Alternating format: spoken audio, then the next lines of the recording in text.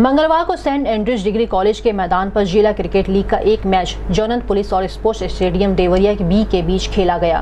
पहले बल्लेबाजी करते हुए जोनल पुलिस ने 30 ओवर में पाँच विकेट के नुकसान पर 250 रन बनाए। दो सौ इक्यावन रन का पीछा करने उतरी स्पोर्ट्स स्टेडियम देवरिया बी की पूरी टीम। बाईसवें ओवर में चौवन रन बनाकर ऑल आउट हो गई। जोनल पुलिस ने इस मैच को एक सौ छियानवे रन से जीत लिया।